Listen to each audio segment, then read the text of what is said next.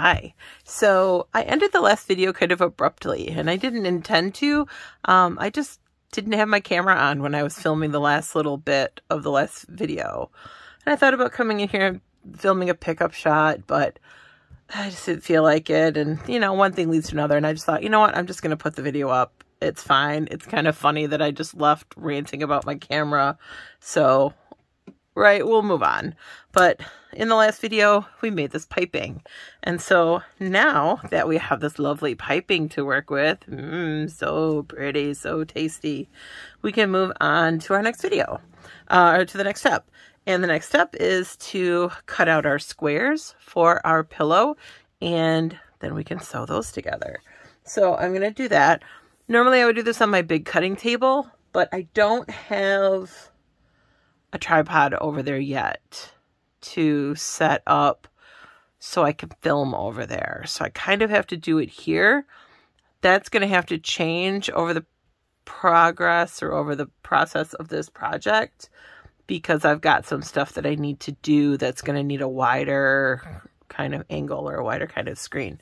So um, for right now, this will be fine because this fits more or less on screen. I can move it around enough. And I think I can fit the fabric up here. I may bump the camera. I apologize if I do. Again, I'm trying to work in a very small space. Like this is 15 by 15. And you can see it's just kind of barely almost sort of fitting on screen. So not working with a huge space here. All right. But I did unfurl my two yards of fabric. So we have all this lovely, lovely fabric. So I've got my fabric, I've got my measuring tool, and I've got my chalk. So we're going to do, like we did last time, we're going to start drawing lines. Now my pillow forms are 16 by 16. Let's see if that's in focus. So my pillow forms are 16 by 16 inches. Um, I just went with this brand because this was kind of the middle of the road brand uh, that my big box store had in stock. Uh, so I went with that one. So we're going to go with this. I think I have eight of them. So I bought like a case. So I think I have eight of them. I'm not sure how many I can get out of this fabric. We'll find out. I don't know yet if I'm going to do them all in this color, if I'm going to do some in a contrasting color. Maybe, but I can get more of this if I need to. They had more of this online. And this was not expensive, so I can get more if I need to. Okay, but for right now, I'm just going to unfurl some of this. I want to line this grid up with the plaid pattern to make it as straight as I can. So I have this square.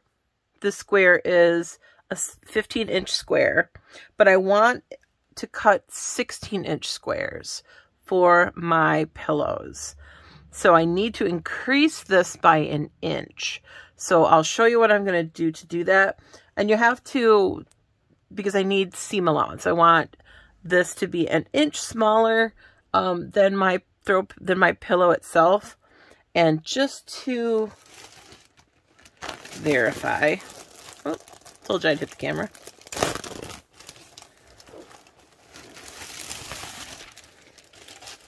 All right, we're just going to verify that this is actually 16 inches. So starting seam to seam. And it is exactly 16 inches. All right. So I am going to make this 15 inches or uh, 15 inches finished. So with a half inch seam allowance, that means I need to cut the fabric to 16 inches. So, and I'm going to use this square. So I've got the square ruler lined up with this grid. With the grid of the of the plaid, more or less. It's not going to be exact, but it'll be more or less. And I'm just going to draw this square. And then, once I've got that square drawn, I'm going to grab my long ruler that I used before. And I'm just going to add an inch. So I'm going to line this up with that line that I just drew and draw an inch outside that line.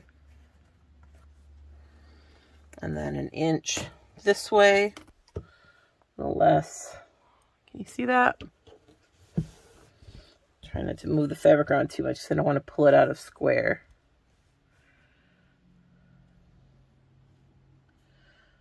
I'm just going to kind of manipulate this a little bit to get it in square.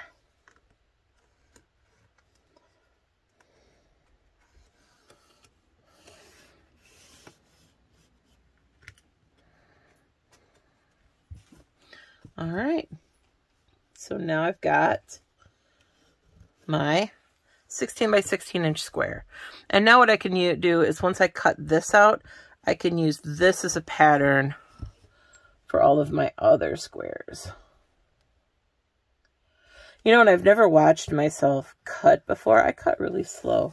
I was watching the videos, I was editing it. I'm really slow cutter. Some of it is the scissors I was using weren't terribly sharp. Um, let's see if I can find a better pair of scissors. Too big. Pinking shears. Actually, pinking shears might not be a bad idea. Hmm, too lightweight. I think those need to be sharpened. If I remember correctly. And keep digging maybe. More pinking shears. Don't judge me in my scissor problem. Aha. These are the ones I was looking for. So these are Ginghers, but they're a little bit more lightweight. Ginghers tend to be kind of a heavier scissor, so they can kind of fatigue your hand after a while of cutting. But these have this little spring mechanism on them. And so after you cut, they spring back open. And that really like it kind of catches at the tip, but then it'll spring back open. It kind of assists your hand so you're not working so hard. So I think I'm going to try these. I think I'm going to try my spring-loaded ones, see if those work for me. Although, man, maybe I should use my pinking shears. So pinking shears have this zigzag blade, and so they cut a zigzag on the edge. And we did say that these on this fabric unravels pretty badly. And I don't really want mini strings everywhere. Hmm. So I'm down to these two. You know what? I think I talked myself into the pinking shears. So I'm going to try the pinking shears. If my hand gets too fatigued, then I'll move on over to these. All right. And those are all over there in my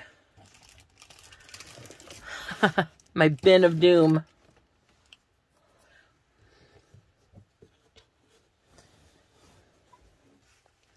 And away we go.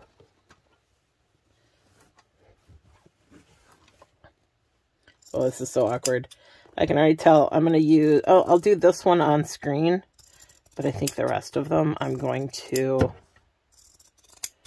do off camera.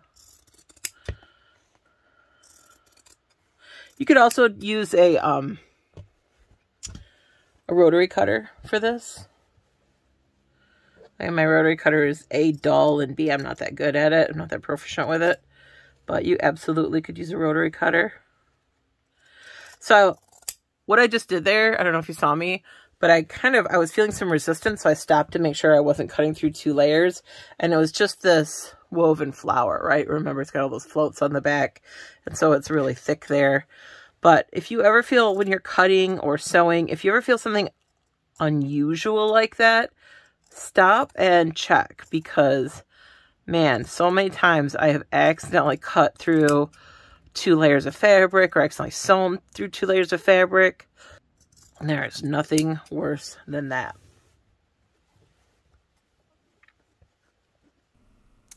editing Sherri here. Uh, I'm editing this video that you're watching right now. And I just want to do a quick shout out to my new patron, Mike Kegley. Thank you so much for supporting me. I really appreciate it. Your help is doing more than you can know. I know I say that a lot, but it's absolutely true. Um, for those of you who don't know, I'm not working that much this semester. I only have one class. And it's really my patrons that are helping me get through this time. So, Mike, this one's for you. I appreciate you. The rest of my patrons are over here. You see them in a list. Um, everybody is the best. I really thank you guys. So if you want to support me and be a part of this great family and this wonderful group of people, the information's down below in the description box. Other than that, I'll talk to you later. Back to the video. Oh man, I don't know about these scissors, you guys.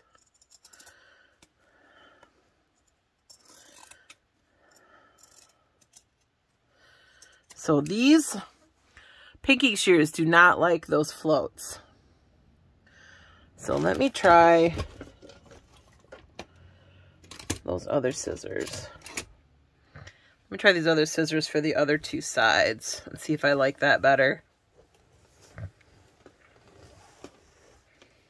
I might just like the smoother edge better too.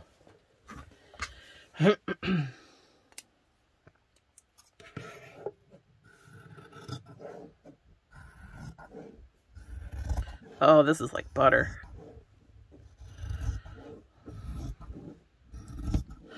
So you might ask, why do I have so many scissors? It's the right tool for the job, you know? Like, different scissors will cut different fabrics um, differently, for lack of a better way of putting it. You know, some, some will be, you know, really good for this fabric. Like, these seem to be the scissors for this. Um, some fabrics, you know, some scissors will be good, better for other fabrics, like satins or silks or what have you. Like, it just really depends. Okay, so there's my fabric. Now, um, what I'm going to do is I'm going to cut the second one out. I may cut this footage and just come back with a second one already cut. Depends on how smoothly this goes. Thank you.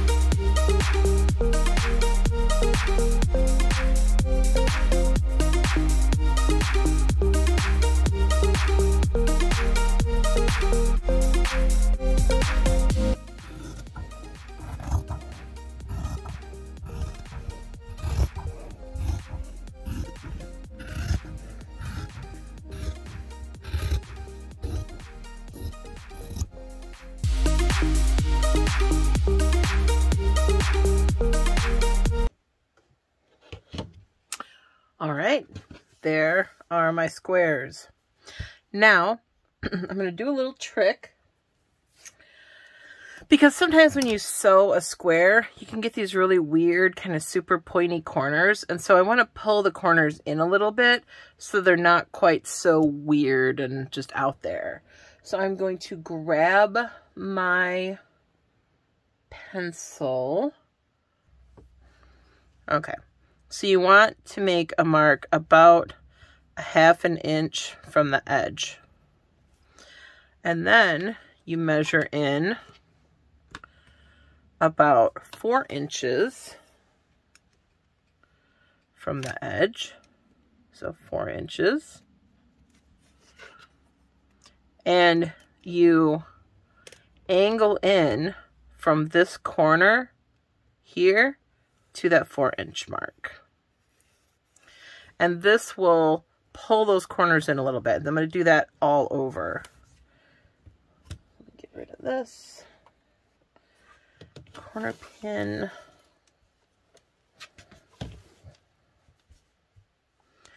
So I measure four inches from the edge.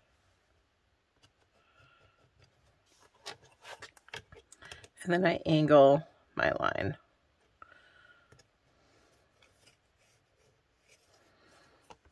And that's it. And you do that on all four corners. And then once you get that done, you just trim that off. And I want to do these two layers at the same time so that they are the same size. This fabric is a little ornery to work with. Like I said, it wants to curl up. It's a little, it's super synthetic. It wants to curl up. It's super synthetic. Uh, so it's just not behaving nicely. So I want to do all four corners at the same time. Or do the two layers at the same time, I should say. And this is a little wonky here. Not quite even with each other. I was kind of avoiding that zigzag and I avoided it a little too much.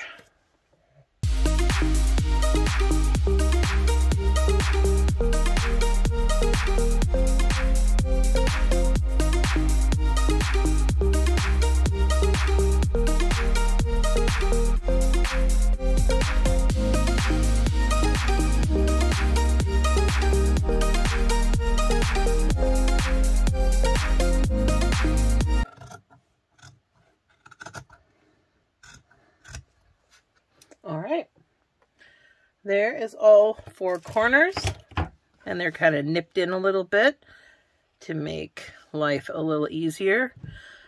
So now we pull the sewing machine back out and we get to sewing.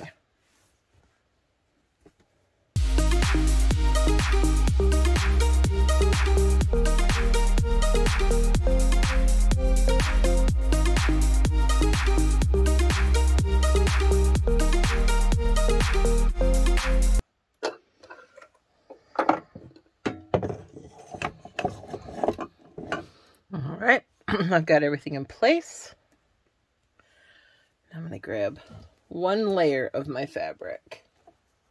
I only want to start with one layer. All right, I'm going to start pattern side up. and I'm going to grab my piping.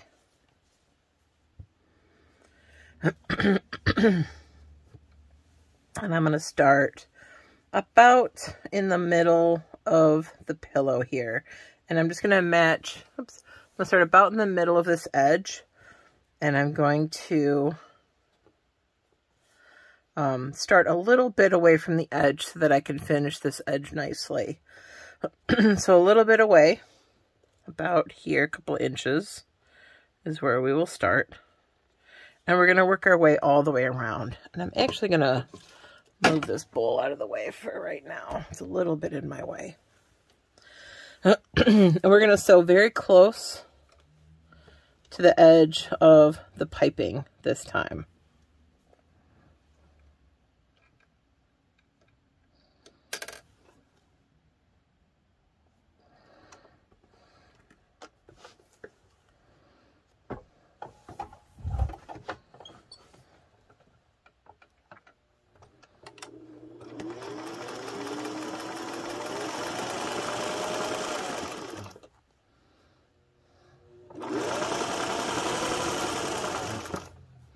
When I get close to my corner, get close to my corner, I'm just going to clip that piping so that way it will turn that corner nice and neatly. So you just clip into that selvage. And when I get hmm, about a half an, uh, an inch away, because I am excuse me, using a half an inch seam allowance.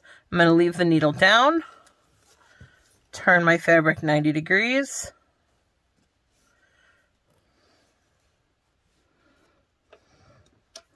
and I'm just going to come around that corner and continue onwards.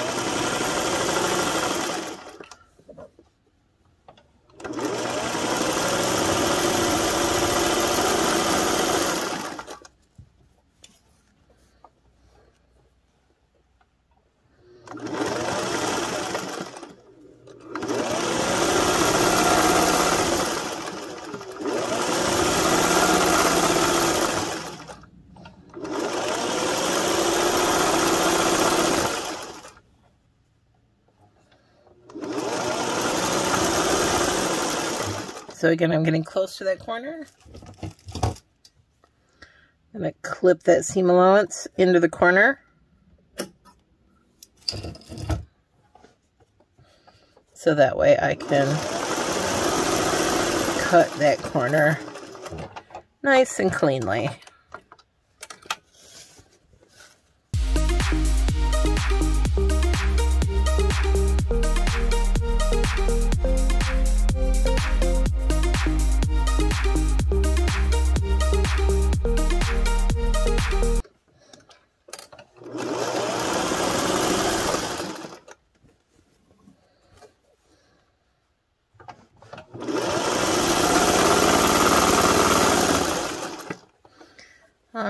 Getting close to the end here.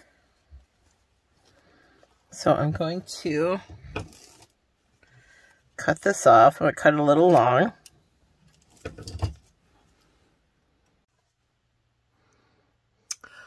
Okay, thanks. So this is actually the next day. Um, I tried to record this last time and it got lost. So we're going to do it again. Um, what we're doing is we're finishing off these ends and how do we close this off when we're done. So um, I've got this end is open a little bit. Um, I've left this unsewn and I've got this raw edge. And I'm going to fold this raw edge. This is the edge of my uh, piping. I'm going to fold this edge up so that I am encasing this raw edge in. And I've cut this end so it's flush with my beginning here. And then I'm going to wrap this over like so. And so that encases everything in. Just going to make sure that I am all lined up. And then once I'm sure I'm all lined up, all ready to go, I'm just going to sew this down. And I'm going to take my stiletto and hold this down. If you don't have a stiletto, I highly recommend getting one. Um, this one I love. I got it on Amazon. And it's just a great tool so you're not getting your fingers in the way and potentially cutting your fingers off or anything like that. Let me double check here and make sure that I am copacetic. It appears so. So I'm just going to hold this down so I can get it under the presser foot.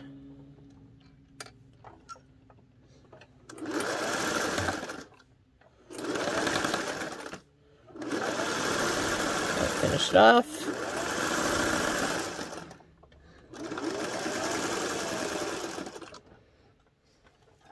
And that, friends, is how I get a nice clean finished edge.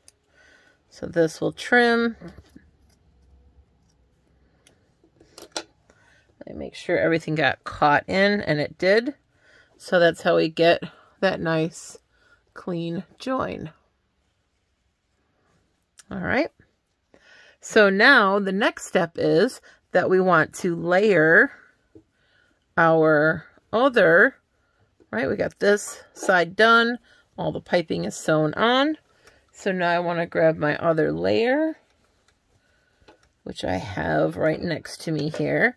So I'm going to turn this so that I've got all the flowers facing up. And then here's my other layer. And all flowers facing up. I'm going to place these together. And I'm actually going to turn this over so I got the right sides together. I'm going to turn this over. Oh, get caught on something here. On my zipper foot. There we go.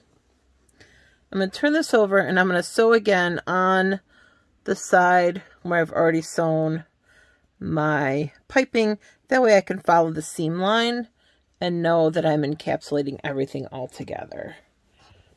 And I'm going to leave a little bit of an opening so that I can put my pillow form in. So I'm just going to leave a little bit of an opening. So I'll start mm, somewhere down here. Match up my edges. And you could pin this. I'm not a pinner. I don't pin if I don't have to. I do pin sometimes, as you've seen, but I don't pin if I don't have to. Again, that's just a habit I've gotten into from doing lots of production work. All right. And I know some of my sewing friends are going to say, make it more work for yourself. You can actually work faster if you pin, but for me, I just could not.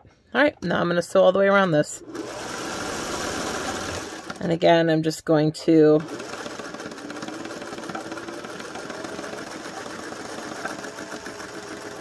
follow this seam line. Get to the corners, turn. And we're getting pretty close to where the recording left off last night. So yes, I cut a bunch of pillow covers. Ooh, that's my needle broken. All right, that will never not scare me.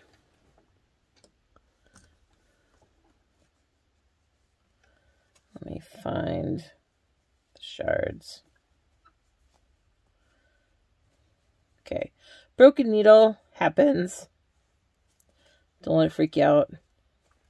I am going to search for the shards because I don't want those gumming up my works. Aha! There it is. It's on the thread still. Okay, good. So I'm going to cut. And I'm out of bobbin thread anyway. That's probably what pulled the needle. So I get to wind a bobbin.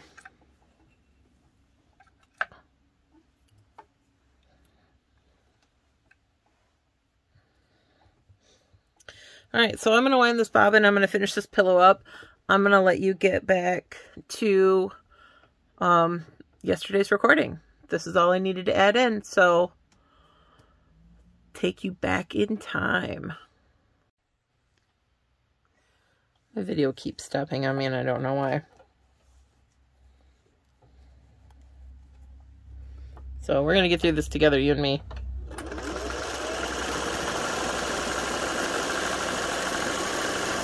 I think my phone's getting full. And so it's trying to not record it more than it needs to.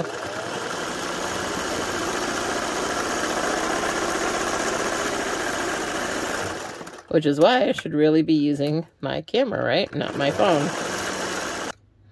All right, next side.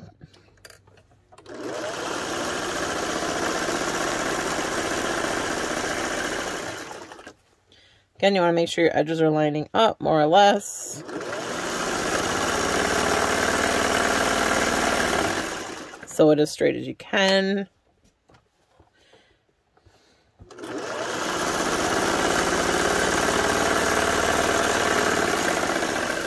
If it gets a little wonky on you because of the uh, bulk, don't worry about it.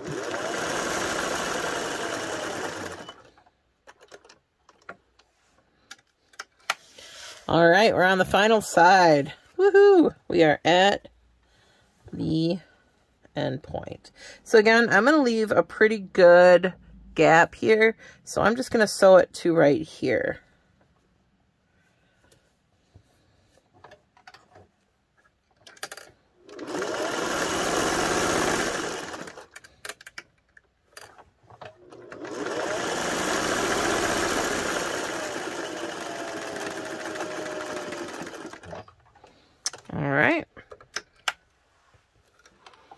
There is my pillow cover. Just like that. Now I'm going to come through and I'm going to trim this bulk off on the corners. So I'm just going to snip those corners. This is where I need that bowl back.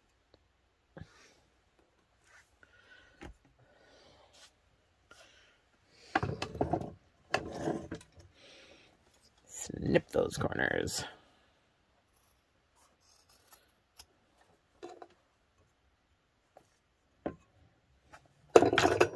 And you could do this without the piping. If you did, if you decided you didn't want to go through all that rigmarole the piping, you absolutely could just cut the two squares, um, kind of miter the corners like I showed you, and then just fill it with a pill form. Like, nobody says, who says you have to do it with a, you know, you could add fringe instead of piping. You could add lace instead of piping. You could add a ruffle.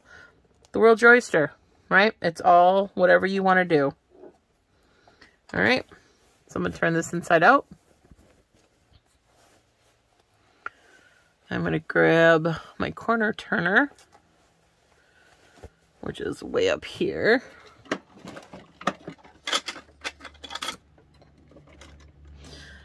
I wouldn't recommend using scissors for this. I would recommend getting a corner turner or, or um, like a chopstick that you're not using, clean chopstick that you're not using, right? Um, something that you're not going to poke through your fabric on to help turn your corners. Um, because I have piping on them, I probably won't need it. You can pull them out, pull the corners out with the piping, but just in case. Got my corner turner. And it's just a pokey thing. You can just poke into the corners to help them pop out. So if any of them fight me. But they shouldn't. I trimmed them nice. Y'all, isn't this exciting? This is the first project towards recovering my couch. Are you excited? I am excited. All right, here's our cover. See if I can zoom out. All right. Here is our cover. I think I'm to put my sewing machine away just so you can see what I'm doing.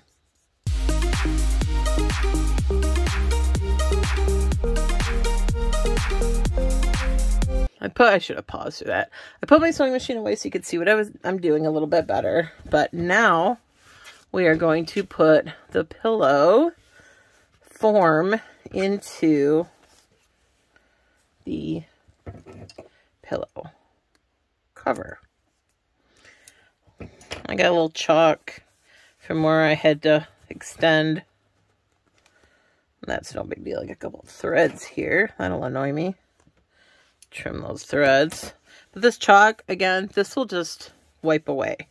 So I'm not going to sweat that too much. Just from handling it and stuff, this will, it will wear off. So, this is just chalk. Here's my pillow form. And we're just going to cram it in here. It's not pretty. It's not cute. It just is what it is. You just got to get that sucker in there.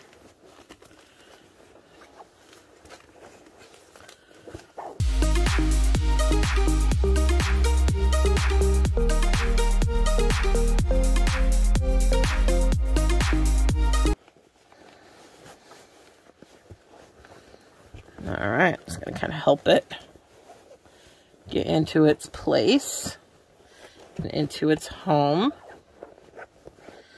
There we go. Get all the corners settled.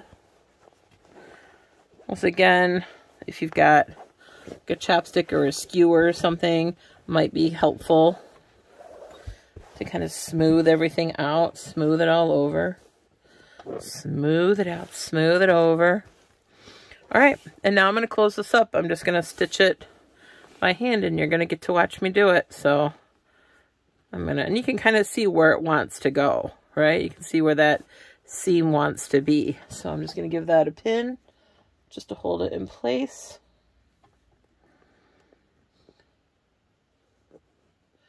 So I mentioned I have to get reoriented, right, to my studio every time I change over from one thing to another. So I'm like, do I have a sewing needle out? I guess I have this one. I have a hooked needle. Could use that. I may have no choice. Oh, here's a straight one. Doesn't really matter. You can use, I don't know if you can see these. You could use either a hook needle or a straight needle. Doesn't really matter. The hook needle is actually one of my bookbinding needles. But it would work for this. That's where I put my thread. Alright. Snip of thread.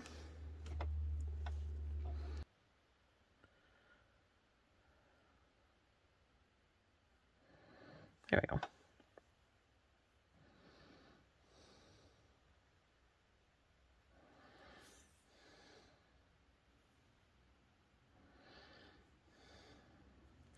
Just gonna tie a knot. I just kind of roll the thread on my finger and pull it. It's a French knot. You can tie any kind of knot you like.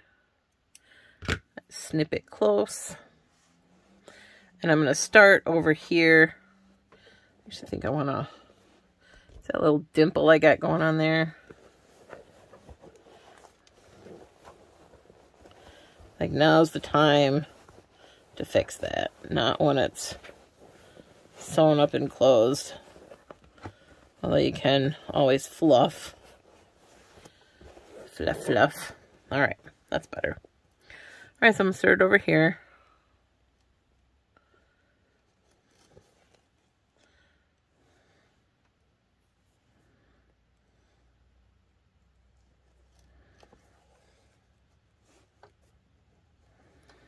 And I'm going to, this is hard to do on camera. And I'm just going to pick up a little bit, a few threads on the fold here. And then a few threads on the pillow at the seam line.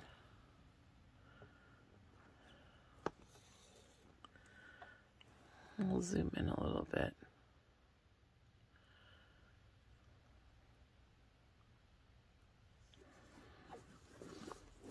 So again, there's this fold kind of establishing itself where the pillow wants to fold over. So I'm just kind of letting it go. And I'm going to pick up a few threads in that fold.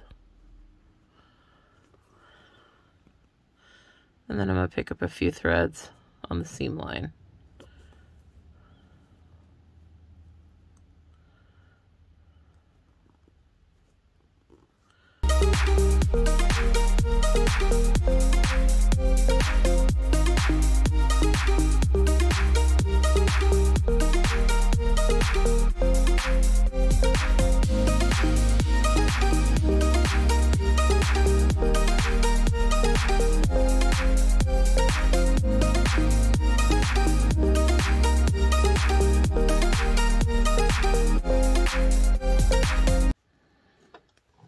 Do another knot.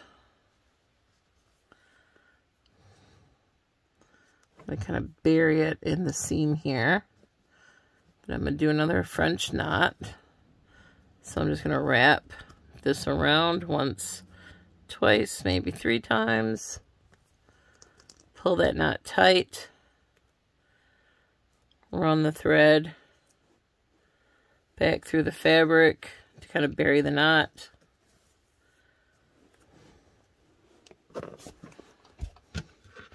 Trim the thread flush. And there we go. There, my friends, is our seam.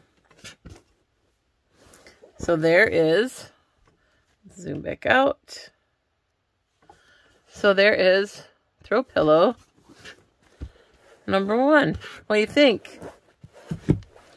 And it will kind of even itself out over time and kind of smush into the corners a little better. But what do you think? You can do this, right? You can do this project. This is easy. Easy peasy lemon squeezy. All right. Just seven more to go. Whose idea was this anyway? All right.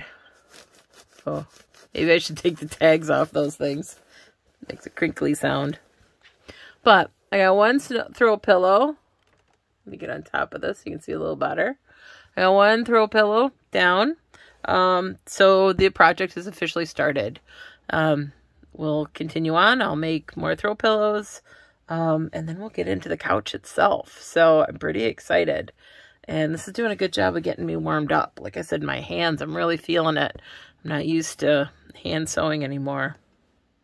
Not that I don't think there's a lot in this couch project. I think it's mostly going to be machine stuff.